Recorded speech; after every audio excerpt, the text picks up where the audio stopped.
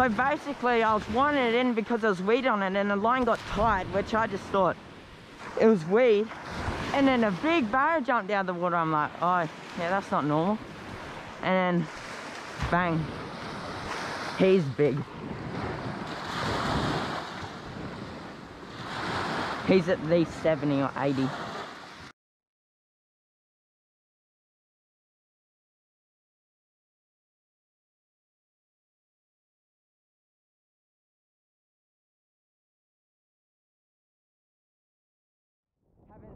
Jump yet. I had one hit, it looked like a small fish, just kept throwing, then bang. This thing has done a massive run. It's a good fish. Just don't hope, I hope I don't pull hooks. I hope I don't pull hooks.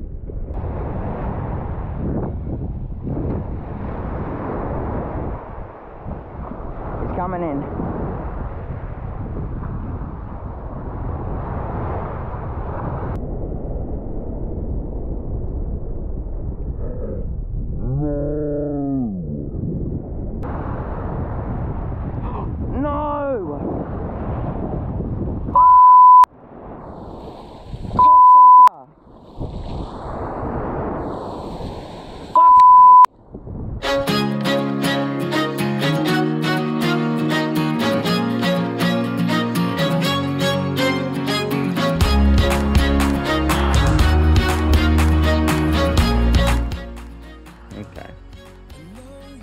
One little buzzer. He's only a little fella.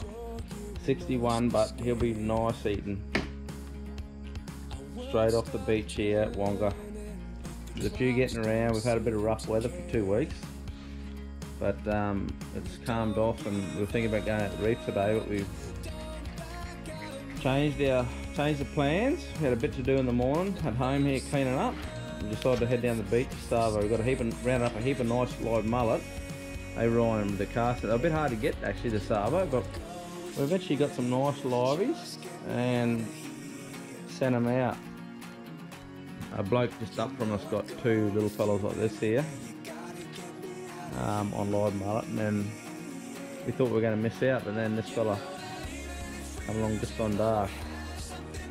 It's pretty quiet. We had a we had a couple of hits, eh? A couple of little hits, probably barra. Just you see the rod tips just bang, and um, got baited.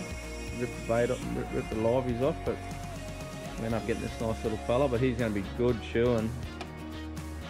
Beautiful eating. And that's that, eh? Beautiful.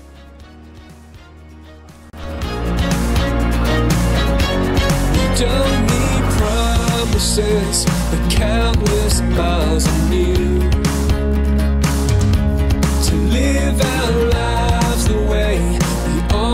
always thought we could.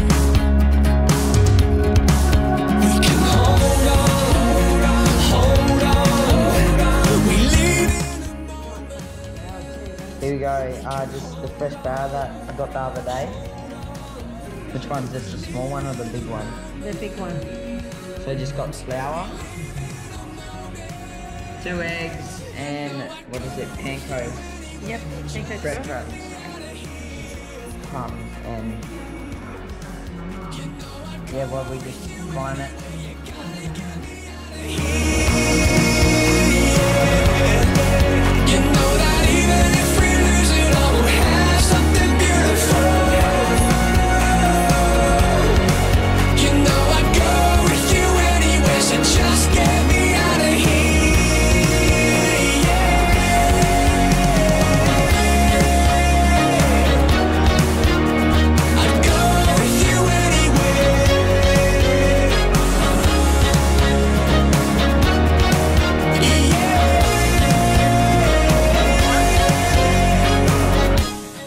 Would you look at that, it's raining again.